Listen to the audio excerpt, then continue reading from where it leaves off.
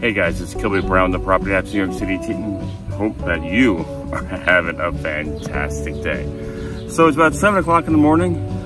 I've um, kind of finished up a uh, good part of my daily walk.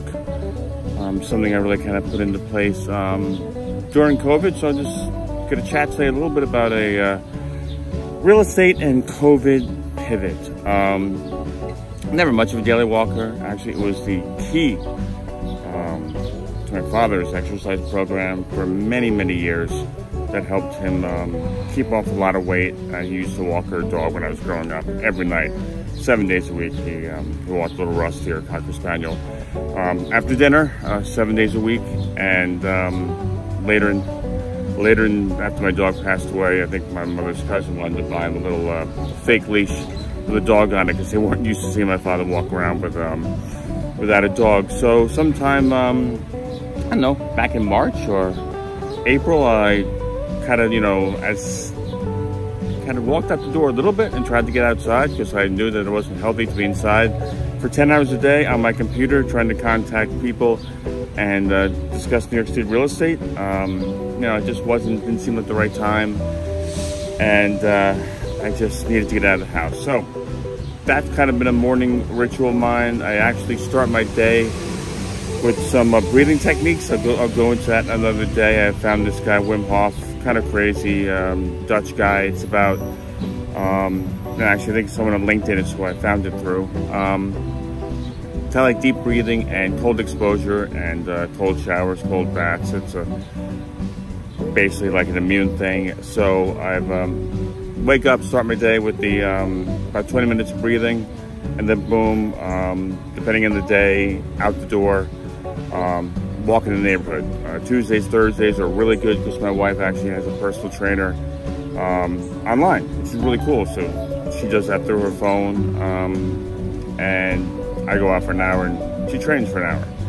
And then I get back, we have breakfast, we can start our day, and you know, I'm at exercise and do some other stuff as well, but that's, um, that's kind of how that goes. So, going into COVID, I, I had prepared, actually last December, I decided to pick up my, uh, to try to get my New Jersey license. Because that, I know the area, I live here.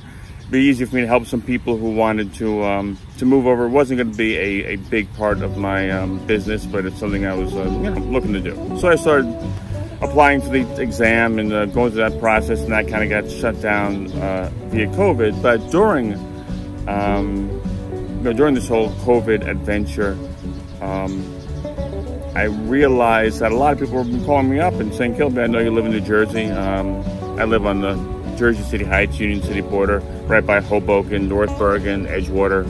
Um, and I've done a lot of these, I've done some videos on this stuff on my YouTube channel. But people started calling me up and asking me for advice because they know that, you know, I, God, I said, you know, basically 25 years in this area. I'm originally from Northern New Jersey. Um, I know New York very well because I've always worked in New York, um, basically always worked in New York. But people are asking for my expertise in um, in New Jersey. Um, not yet licensed um, because uh, I still have to. My test was postponed due to COVID, so hopefully I'll be up and running in a month or so. Um, but I've just been walking the blocks, talking to neighbors, um, having conversations, learning the area, and trying to pass on this information to um, the people I know. You know, some people looking to leave Brooklyn, Manhattan, they're looking for the right move. Maybe they're looking to go out, you know, further into the suburbs some people like a closer commute, so something like Jersey City Heights might work really well for them. So this is kind of part of my adventure, which is starting to build a business out here. Um, you know, Marizete and I are not going to give up our our New York business. We're just kind of adding to our um, existing business. And if I can wake up in the morning, walk around for an hour, you know, every day, see what houses, uh, you know, what house is going in the market, what house might be selling, new construction, just taking a different block, taking a different route, and just learning the neighborhood. Well, I don't say learn the neighborhood, I've always learned the neighborhood, but in a real estate sense, learn the neighborhood block by block, person by person, old school, just walking the block. So that's kind of my um, adventure during during COVID. Um, again, with the, uh, I might have mentioned before, I'm on that YouTube 90 day challenge. I think, yes, it was day 58. Got to get to 91 because I did miss day 11 So that's been a real big, um, really, really interesting thing.